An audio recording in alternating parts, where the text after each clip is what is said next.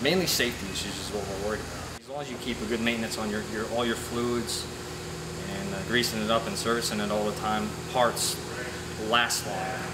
Where it prolongs the bus. That's why we have 85 mile buses that are still running. It's going to come to a point where you've gotten all you can out of parts and you got to replace them. It's much easier to maintain newer buses. There's less things that go wrong on them. Um, and if it is, it's under warranty. Get updated buses and stick with the times. Um, when it gets into these old buses, parts and labor. But like I said, it, it gets to a point where how much money do you keep investing into these buses?